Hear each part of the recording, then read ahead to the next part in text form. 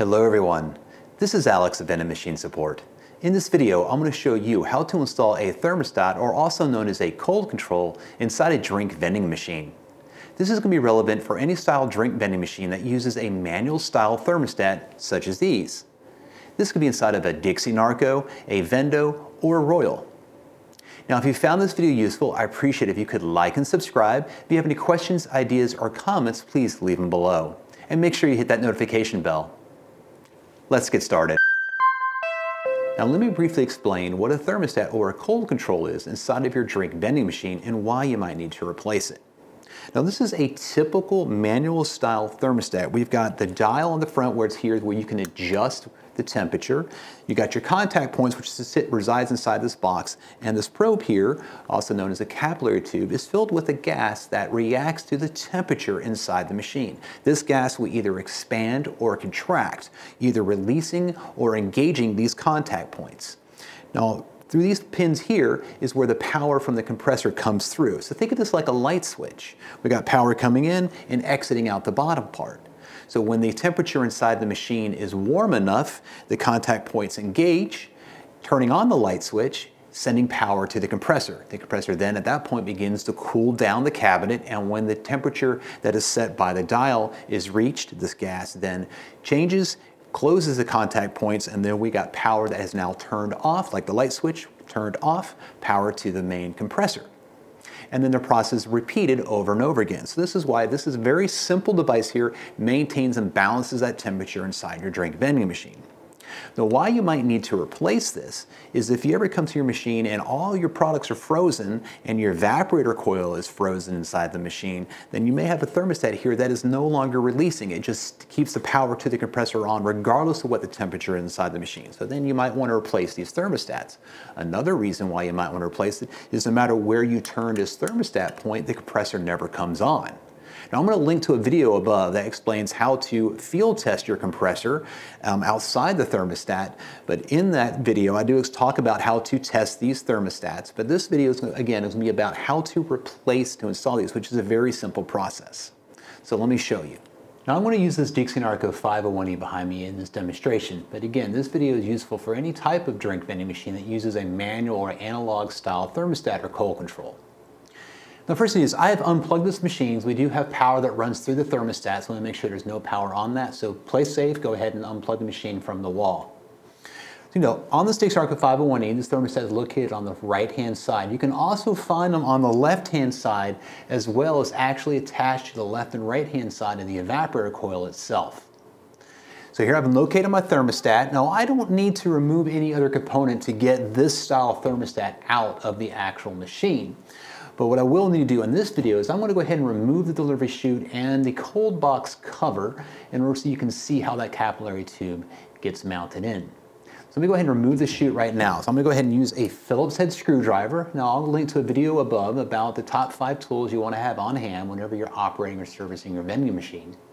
So I'm going to go ahead and loosen these two screws. I'm going to go ahead and loosen them and get this delivery chute out. I'm fortunate enough this delivery chute is plastic. It's going to make my life a little bit easier to extract it from the machine. Okay. Now with that, I'm going to go ahead and remove the clips that are holding the cover on the cold box. I'll pull these off. Pull this out of the way.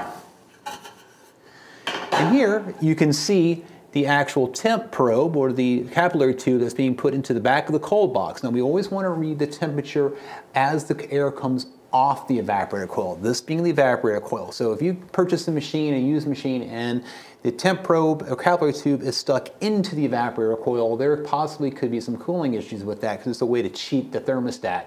Because this is always going to be colder at its core as opposed to when it's being, when air is being pulled off of it. So we always want to read the temperature after the evaporator coil. Of Dixie Narcos, there happens to be on the right-hand side a little hole that we can actually stick the capillary tube into to read the temperature as it comes off the backs of the fans. So now I need to go ahead and remove the thermostat from the machine. Again, I got the machine unplugged. First do is I'm going to remove the plugs that go onto the top of the thermostat here. Now it's unplugged.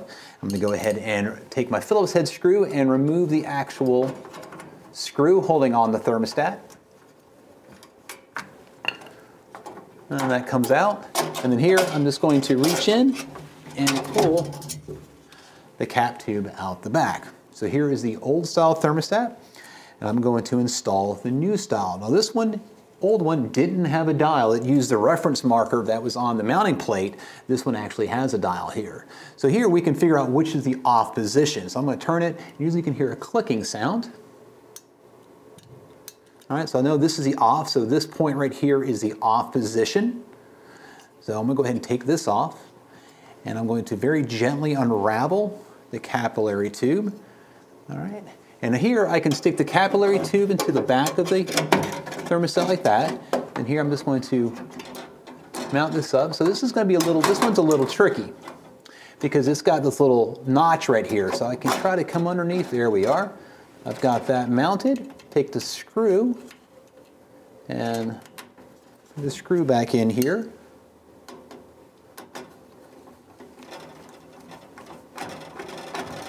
All right. Now I've got that tightened down. I'm just going to take the capillary tube and kind of bend it, make sure it's not hitting the back of the fan blades and not hitting the, the side of the cabinet. I'm going to go ahead and plug in the wires into onto the side or the back of the thermostat. All right, so those are plugged in. And now I can take the dial and it's got some certain holes that line up with the different types of uh, points on this.